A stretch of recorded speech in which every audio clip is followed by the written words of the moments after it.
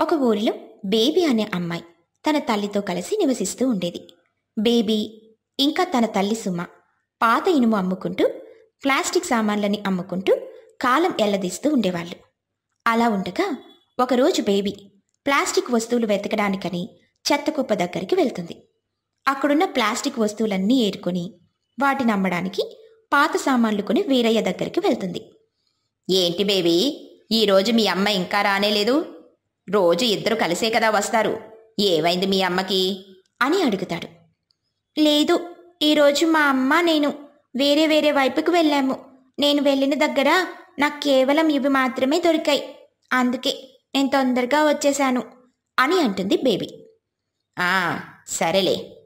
నువ్వు తీసుకొచ్చిన వస్తువుల బరువును బట్టే డబ్బులిస్తాను. తూకం వేస్తాను ఆగు. అని బేబీ తెచ్చిన వాటిని తూకం వేస్తాడు వీరయ్య. ఇదిగో బేబీ డబ్బులు. ఈరోజు నువ్వు తెచ్చిన వాటికి ఇవే డబ్బులు వస్తాయి తీసుకో అని బేబీ చేతిలో పెడతాడు. తర్వాత కొంతసేపటికి అక్కడికి సుమ కూడా పాత సామాన్లు పట్టుకొని వస్తుంది. సేతు ఇవి కూడా తూకం వేయి. ఈరోజు చాలా సామాన్ దొరికింది. తూకం వేయి అని తాను తీసుకొచ్చిన మూటని వీరయ్య ముందు వేస్తుంది. సుమ తెచ్చిన వాటిని కూడా తూకం వేసిన తర్వాత డబ్బు కొంత చేతిలో పెడతాడు వీరయ్య. అదేంటి సేతు? నేనంత కష్టపడి బరువులు మోస్తూ అంత ఎక్కువ పాత ఇనుము తీసుకొస్తే ఇంతే డబ్బులిచ్చావు. ఇంకా ఇవ్వు అని అంటుంది సుమ. ఆ? మీరెత్తుకొచ్చింది ఫోన్లని కాదమ్మా. ఎక్కువ డబ్బులు ఇవ్వడానికి. ఇవి కేవలం పనికిరాని చెత్త సామాను మాత్రమే అని అంటాడు కోపంగా వీరయ్య. తల్లి కూతుర్లు అక్కడి నుంచి వెళ్ళిపోతారు. తర్వాత కొంతసేపటికి దిగులుగా ఉన్న తల్లి దగ్గరికొచ్చి బేబీ ఇలా అంటుంది. అమ్మా సేతు మనల్ని అంతలా అవమానించినా కూడా ఒక మంచి పని చేశాడు అని అంటుంది. ఏం మాట్లాడుతున్నావమ్మా నువ్వు? అంతలా తిట్టి అవమానిస్తే మంచి చేసినట్టు అనిపిస్తుందా నీకు?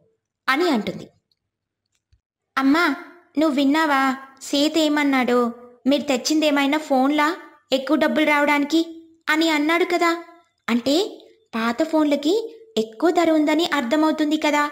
అయితే ఈ రెండు మూడు రోజులు పాత ఫోన్లని వెతుకుదాం మనం. వాటిని అమ్మి చూద్దాం. ఎక్కువ డబ్బులు వస్తాయేమో అని అంటుంది బేబీ. సరే నువ్వు చెప్పినట్టు కూడా చేద్దాంలే అని తెల్లారి నుంచి ఇద్దరూ కలిసి పాడైపోయిన ఫోన్లని పడేసిన ప్రదేశాలకు వెళ్ళి వెతుకుతూ ఉంటారు. అలా చాలా కష్టపడి ఉదయం నుంచి సాయంత్రం వరకు వెతకగా రెండు మూడు పాడైపోయిన ఫోన్లు మాత్రమే దొరుకుతాయి. వాటిని చూసి బేబీ ఇలా అంటుంది. అమ్మా మనకి ఫోన్లు ఏమీ దొరకనే లేదు. అనవసరంగా మనం ఈరోజు వెతికే వాటిని వెతికినా పోయేదేమో అని అంటుంది. అందుకు సుమ సరేలేమ్మా వీటినైతే అమ్మి చూద్దాం అని అంటుంది. ఇక తల్లి కూతుళ్ళు తమకు దొరికిన ఫోన్లని తీసుకొని సేటు దగ్గరికి వెళ్తారు. ఏంటి తల్లి కూతుళ్ళు మళ్ళీ ఇటువైపుకి రాననుకున్నాను. బాగానే వచ్చారు పర్లేదు అని అంటాడు సేటు నువ్వన్నావు కదా పాత ఫోన్లకి ఎక్కువ ధర పలుకుతుందని. అందుకే పాత ఫోన్లని పట్టుకొనొచ్చాము అని వాళ్ళు తెచ్చిన ఫోన్లని సేటు ముందు పడేస్తారు. వాటిని చూసిన సేటు ఇలా అంటాడు. చూడండి ఫోన్లకి ఎక్కువ ధర వస్తుందని చెప్పింది నిజమే. కానీ అన్ని ఫోన్లకి ఎక్కువ ధర పలకదు. కేవలం యాపిల్ ఫోన్లకు మాత్రమే ఎక్కువ ధర ఉంటుంది. మిగతావి సాధారణంగానే ఉంటాయి ధర. యాపిల్కి ఎక్కువ ధర ఎందుకంటే యాపిల్ ఫోన్ల తయారీలో కొంతపాటు బంగారాన్ని వాడుతారు. ఫోన్ మొత్తాన్ని కొన్ని పద్ధతులలో చూస్తే కొంత బంగారం బయటికి వస్తుందని అందుకని దానికి కొంత ఎక్కువ ధర పలుకుతుంది అని అంటాడు సేతు. అందుకు సుమ "ఆ, అవునా? అదా అసలు కారణం. సరే ఈ ఫోన్లలో కొన్ని యాపిల్ ఫోన్లు కూడా ఉన్నాయి కదా. వాటికి ఎంత ధర వస్తుందో చెప్పండి. అని అంటుంది సుమ. సేటు మొత్తం ఫోన్లని పరిశీలించి వాటికి కొంత ధర కట్టిస్తాడు.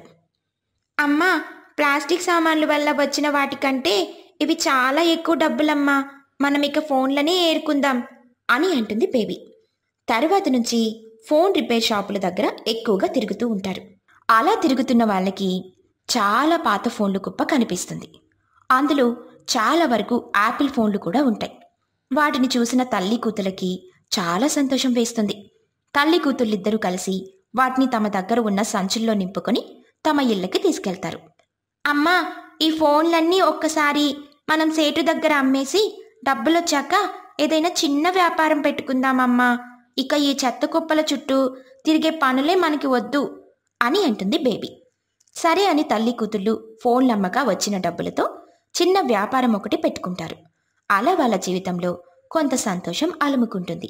ఒక ఊరిలో స్వాతి అనే అమ్మాయి తన తల్లి శవం దగ్గర కూర్చొని ఏడుస్తూ ఉంది. అక్కడికొచ్చిన తన తండ్రి వెంకన్న ఇలా అంటాడు. అమ్మా స్వాతి నువ్వేడ్చినంత మాత్రాన అమ్మ తిరిగి రాదు తల్లి. అమ్మ లేదన్న బాధ నాకు కూడా ఉంది. కానీ తరువాత జరిగే పనులు చూడకుండా ఉంటే ఎలా అమ్మా? చనిపోయిందని మనం అక్కడే ఉండిపోలేం కదా. లే అమ్మా లే. అమ్మను తీసుకెళ్ళే సమయం అయింది. ఇంకా ఆలస్యమైతే చీకటి పడుతుంది. అని ధైర్యం చెప్తూనే తరువాత కార్యక్రమాలు చేసుకుంటాడు వెంకన్న. తరువాత కార్యక్రమాలన్నీ జరిగిపోతాయి. వెంకన్న ఇల్లు గడపడం కోసమని పనులకు పోతూ ఉంటాడు. కానీ స్వాతి మాత్రం చనిపోయిన తన తల్లినే తలుచుకుని ఏడుస్తూ ఉంటుంది. సాయంత్రం పని నుంచి తన స్నేహితుడు నాగయ్యతో వెంకన్న ఇంటికి వచ్చేసరికి స్వాతి తన తల్లి ఫోటోని పట్టుకుని తన ఇంట్లో ఉన్న ఆవు దగ్గర కూర్చొని ఏడుస్తూ ఉంటుంది. అది చూసిన వెంకన్న స్వాతి దగ్గరికి పరిగెత్తుకుంటూ వచ్చి ఇలా అంటాడు. నీకెన్నిసార్లు చెప్పాలి స్వాతి. ఎందుకు ఇలా చేస్తున్నావు? ఏడుస్తూ ఉంటే అమ్మ తిరిగి రాదు సరికదా? నీ ఆరోగ్యం కూడా పాడవుతుంది. మీ అమ్మ పోయిన బాధని దిగమింగుకొని నేను ఎలాగోలా కాలం గడుపుతూ ఉన్నాను. నీకేమన్నా అయితే తట్టుకునే శక్తి కానీ స్తోమత కానీ నాకు లేవు అని అంటాడు. తండ్రి మాటలు విన్న తర్వాత స్వాతి తండ్రి దగ్గరికొచ్చి ఇలా అంటుంది ఏడుస్తూ. నాన్న నాకు అమ్మ కావాలనిపిస్తుంది. ఇంట్లో ఎక్కడ చూసినా అమ్మ జ్ఞాపకాలే గుర్తుకొస్తున్నాయి నాన్న. అమ్మ లేదన్న నిజాన్ని నేను కూడా జీర్ణించుకోవడానికి ప్రయత్నిస్తున్నాను. కానీ నా వల్ల అవ్వడం లేదు నాన్న. అని ఏడుస్తూ ఉంటుంది. వెంకన్న స్వాతిని దగ్గరికి తీసుకుని ఓదారుస్తూ ఉంటాడు. అమ్మా వెళ్ళు వెళ్ళి ముఖం కడుక్కొని రాపో. అన్నం తిందాం. అని అంటాడు. తండ్రి చెప్పినట్టుగానే స్వాతి వెళ్ళిపోతుంది.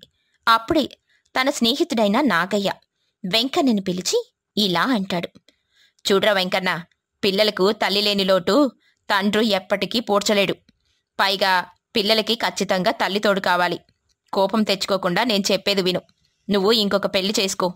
నీకు భార్య అవసరం ఉన్నా లేకున్నా స్వాతికైతే తల్లి అవసరం ఉంది. ఇక నీ ఇష్టం. నువ్వే ఆలోచించుకో అని చెప్పి వెళ్ళిపోతాడు. స్వాతి పరిస్థితిని కూడా దృష్టిలో పెట్టుకుని వెంకన్న పెళ్ళి చేసుకోవాలని నిర్ణయించుకుంటాడు. స్వాతి తనకి ఎప్పుడు బాధొచ్చినా తనింట్లో ఉండే ఆవు దగ్గరికి వెళ్ళి మాట్లాడుతూ ఉండేది. ఆవు పోషణ మొత్తం స్వాతి చూసుకుంటూ ఉండేది. ఆవంటే స్వాతికి ఎంతో ఇష్టం. అలా రోజులు గడిచిపోతూ ఉంటాయి. కొన్ని రోజుల్లో వెంకన్నకు లక్ష్మి అనే మహిళతో పెళ్ళవుతుంది. ఇంటికి వచ్చిన లక్ష్మిని స్వాతికి చూపిస్తూ వెంకన్న ఇలా అంటాడు. అమ్మ స్వాతి ఇప్పటినుంచి ఈవిడే మీ అమ్మ. చనిపోయిన మీ అమ్మని తీసుకురాలేను కాబట్టి ఇంకొక అమ్మని తీసుకొచ్చాను అని అంటాడు. స్వాతి కూడా చాలా సంతోషపడుతుంది. లక్ష్మి కూడా స్వాతితో మొదట్లో చాలా ప్రేమగా ఉన్నప్పటికీ వెంకన్న ఎప్పుడూ స్వాతితో ఉండడం స్వాతిని ప్రేమగా చూసుకోవడం చూసినప్పటి నుంచి లక్ష్మికి స్వాతి మీద కోపం పెరుగుతూ వస్తుంది. ఒకరోజు స్వాతి బయటికి ఆడుకోవడానికని వెళ్ళొస్తుండగా ఇంట్లో పెద్ద పెద్దగా అరుపులు వినిపిస్తాయి. ఆ అరుపులు విని పరుగు పరుగున ఇంట్లోకి పరిగెత్తి చూస్తుంది స్వాతి. అప్పుడు స్వాతిని గమనించిన లక్ష్మి తన భర్తతో ఇలా అంటుంది. కోపం కాకపోతే ఇంకేంటండి? ఎంతసేపు మీకు మీ కూతురి మీదనే ధ్యాస. తిందా పడుకుందా ఆడుకుంటుందా అనే తప్ప ఇంట్లో ఒక భార్య ఉంది దాన్ని పట్టించుకుందాం అనే ఆలోచనుందా మీకసలు? ఆ మాత్రం దానికి నన్ను పెళ్ళెందుకు చేసుకున్నట్టు? అని అంటుంది. ఆ మాటలు విన్న స్వాతి చాలా బాధపడుతూ ఆవు దగ్గరికి వెళ్తుంది. స్వాతి ఆవుతో తన బాధనంతా చెప్తుంటుంది. చూసావా? నా వల్ల ఇంట్లో అమ్మ నాన్నలకి గొడవ అవుతుంది. అమ్మతో పాటు నేను చనిపోయినా బాగుండేది. ఇప్పుడు ఇదంతా ఉండేది కాదు అని అనగానే ఆవు తన తోకతో స్వాతిని నెమురుతుంది. అప్పుడు స్వాతి ఆవుని దగ్గరికి తీసుకొని నీకున్న ప్రేమలో అమ్మకి కొంచెమున్నా ఇప్పుడు పరిస్థితి ఇలా ఉండేది కాదు అని అంటుంది. ఇంతలో కోపంగా బయటికి వెళ్ళిపోతాడు వెంకన్న. వెంకన్న వెనకాలే లక్ష్మి వచ్చి ఆ వెళ్ళు వెళ్ళు. అది ఎక్కడికి వెళ్ళిందో? మహాలక్ష్మి ఏ ఇంట్లో ఏం ఘనకార్యం వెలగబెట్టడానికి వెళ్ళిందో ఏమో? అని అంటూ ఉంటుంది. అయినా వెంకన్న అవేమీ పట్టించుకోకుండా వెళ్ళిపోతాడు. అనుకోకుండా అక్కడే ఉన్న స్వాతిని చూస్తుంది లక్ష్మి. స్వాతిని చూడగానే కోపం కట్టలు తెంచుకుంటుంది. వెంటనే పక్కనే ఉన్న గొడ్డలు పట్టుకొని వస్తూ ఇదంతా నీ వల్లనే జరుగుతుందే. అసలు నువ్వే లేకపోతే మేమిద్దరం హాయిగా ఉంటాం అని దగ్గరికొచ్చి స్వాతి జుట్టు పట్టుకొని లాక్కెళ్తూ గొడ్డలితో కొట్టబోతూ ఉండగా ఆవు తనకి కట్టిన తాడును తెంచుకొని కోపంగా పరిగెత్తుకుంటూ వచ్చి స్వాతిపై దెబ్బ పడనీయకుండా ఆపడానికి ప్రయత్నిస్తూ లక్ష్మిని వెనక నుంచి పొడుస్తుంది. లక్ష్మి వెంటనే అక్కడికక్కడే కుప్పకూలిపోయింది. అది చూసిన స్వాతి ఆవుతో ఎంత తప్పు చేసావో నీకు అర్థమవుతుందా? ఆమె మా అమ్మ ఒక మాట అన్నా కూడా ఏమీ అవ్వదు. దానికి నువ్వు ఇంత పని చేస్తావా? అని అనుకుంటూనే ఒక తోపుడు బండి తీసుకొచ్చి లక్ష్మిని ఆసుపత్రికి తీసుకెళ్తుంది. అక్కడ డాక్టర్లు వైద్యం చేసి లక్ష్మిని కాపాడుతారు. అప్పుడు లక్ష్మి స్వాతిని దగ్గరికి పిలిచి ఇలా అంటుంది. అమ్మా స్వాతి నేను నీకు అపకారం చేస్తున్నానని తెలిసి కూడా నువ్వు ప్రమాదం నుంచి నన్ను కాపాడావు. నువ్వు గడ్డి పెట్టినందుకే ఆవు నీ మీద దెబ్బ పడనీయకుండా కాపాడింది. అలాంటిది నా ప్రాణాల్ని కాపాడావు నువ్వు. నీకు నేను జీవితకాలం రుణపడి ఉంటాను. నన్ను క్షమించమ్మా. ఇక నిన్ను నా జీవితంలో ఒక్క పల్లెత్తి మాట కూడా అనను అని అంటుంది. తల్లిలో వచ్చిన మార్పుకి స్వాతి ఎంతో సంతోషిస్తుంది. ఆ రోజుటి నుంచి ఇంట్లో గొడవలు లేకుండా వెంకన్న లక్ష్మి స్వాతితో కలిసి చాలా అందంగా జీవిస్తూ ఉంటారు. స్వాతికి ఆవుకి తన పైన ఉన్న ప్రేమ అర్థమయ్యి ఆవుని ఆ రోజు నుంచి ఇంకా ప్రేమగా చూసుకు